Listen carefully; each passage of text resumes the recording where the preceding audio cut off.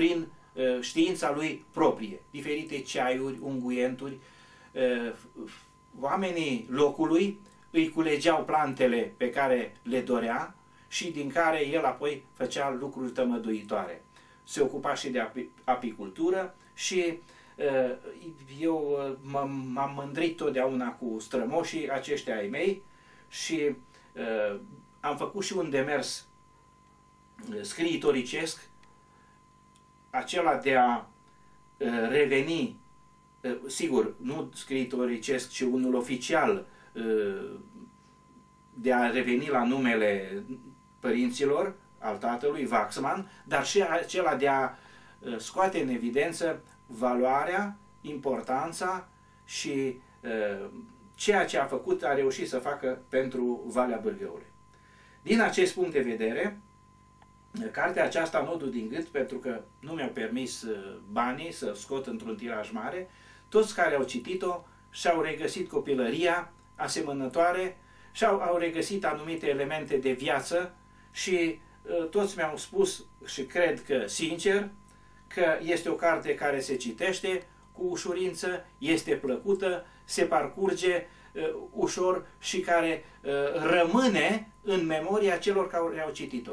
Cine a citit-o a reușit, adeseori când mă întâlnesc, a reușește să îmi spună uh, pasaje din carte, semn că ceea ce este scris, este scris într-o măsură uh, atât de potrivită, cu gustul și cu memoria oamenilor, încât rămâne. De aceea eu uh, am scris-o nu ca și uh, scriitor, ci din potrivă ca un om care vrea să lase urmașilor uh, aspectele vieții și să fie o pildă pentru uh, urmașii, pentru cei patru nepoți pe care îi am, doi aici la Bistrița, Dragoș și Ioana Cristiana și doi în uh, California, Albert și Robert, de la celălalt băiat care este cercetător științific, uh, doctor în științe uh, fizico-chimice și își desfășoară acolo o activitate foarte bogată, ducând numele de Waxman așa cum mi-am dorit și peste hotare. Sigur, am putea vorbi mult și despre această carte și despre cele care au trecut, poate că o să revenim, presupun că ar fi interesant să mergem pe, pe teritoriul Bârgăului. Pentru că eu, de fapt, sunt un fiu al văii, am mai spus-o. Eu sunt născut în Bistrița Bârgăului, am copilărit și am făcut patru clase la Rusul Bârgăului, următoarele clase până într-a șaptea la Joseni, după aceea am lucrat la Mureșenii Bârgăului, aparținător de Tiha, am locuit în Prundul Bârgăului și în Susenii Bârgăului și așa că pot să mă consider un fiu autentic al acestei văi, deși numele nu sună românește, gândul meu este, a fost și rămâne unul absolut românesc. Ce spune Gena din mine în legătură cu uh, ca posibilitățile mele de formare, de realizare este una, dar uh, gândurile mele absolut sunt îndreptate doar și doar spre Valea Bârgăului, țara Bârgăului, spre această zonă pe care nu pot să uh, o neglijez nici într-un fel, chiar dacă în prezent sunt mutat la Bistrița, sunt locuitor al Bistriței, dar nu-i departe Bistrița de uh, Bârgău. Și poate că o să pot reveni, dacă timpul va permite, Uh, în legătură cu uh, relația Bistrița și Valea Bârgăului. Și aș vrea nu, să... vă rog, nu încercați să anticipați uh, Întrebări. chestiuni, întrebările pe care vreau să vi le pun. Tot timpul aveți tendința sau simțiți că ce urmează să vă întreb și le anticipați, ne lăsându-mi mie plăcerea să uh, uh, fac acest lucru. Ați pus mâna pe ultima dumneavoastră carte. Da, este cea Faceți, vă rog, câteva dezvăluiri despre această carte. Iată cartea Bârgăoan de top, cu subtitlul O carte, în paranteză, incompletă a spiritualității bârgăoane. Ei, uh, Bârgăoan de top, numele îmi spune că între aceste coperți se închid o serie de personalități și vă spun cu siguranță sunt 73 la nume, de pe, număr, de pe toată Valea Bârgăului. Uh, de top în sensul că, revenind la titlul de mai jos, ei se, sunt doar cei care se încadrează în ceea ce numesc spiritualitate.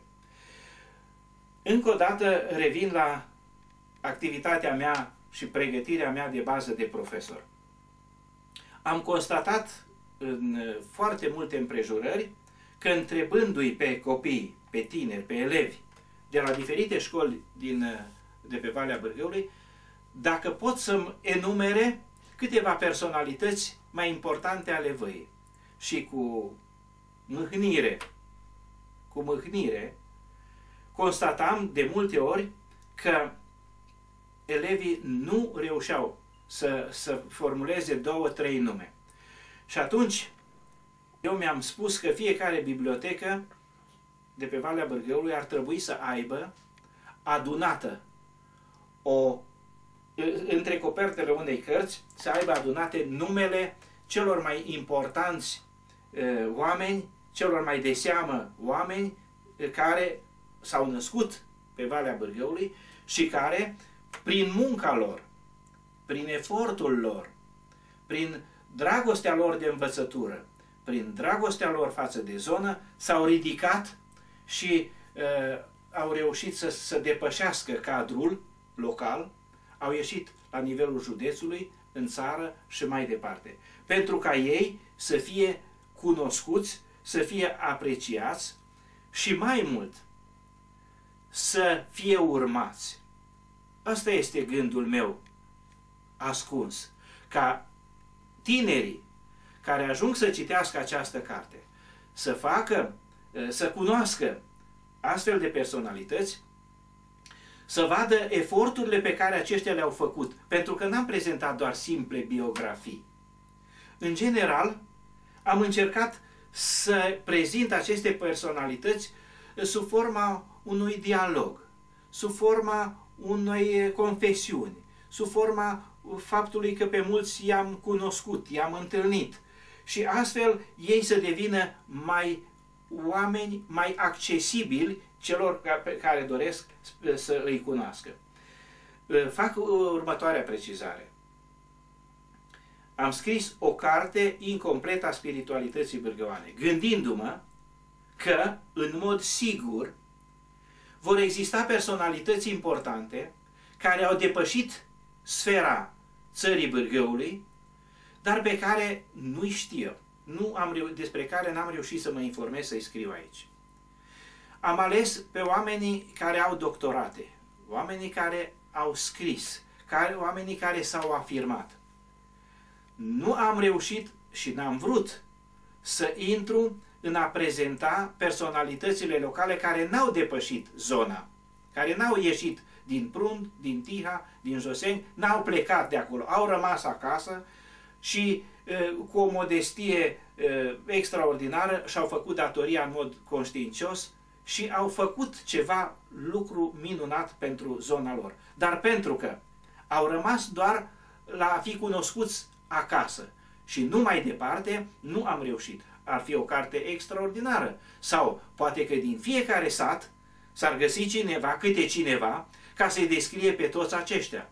Atunci ar fi e, minunat și e, o bibliotecă întreagă s-ar putea face. Pentru că spun că de pe Valea Bârgăului au ieșit, au izvorit, s-au născut oameni extraordinar de bine realizați. S-au realizat oameni importanți în domeniul dăscălicesc, ca profesori, universitari, în domeniul muzical, în domeniul plastic, în domeniul medical, în domeniul uh, ingineresc. Deci în toate domeniile. Există valori cu care trebuie să ne mândrim. Eu uh, am așa un fel de, uh, nu invidie, ci o, poate, dacă vreți să-i spunem, o invidie uh, cinstită, admirativă. admirativă față de Valea Someșului, care știu să-și recunoască valorile, care și le prezintă, spre deosebire de Valea Bârgăului, de țara Bârgăului, care uh, cumva are manifestări uneori de orgolii din acestea uh, negative. La mine orgoliul acesta admirativ față de uh, alte zone pe care știu să-și pună în valoare oamenii,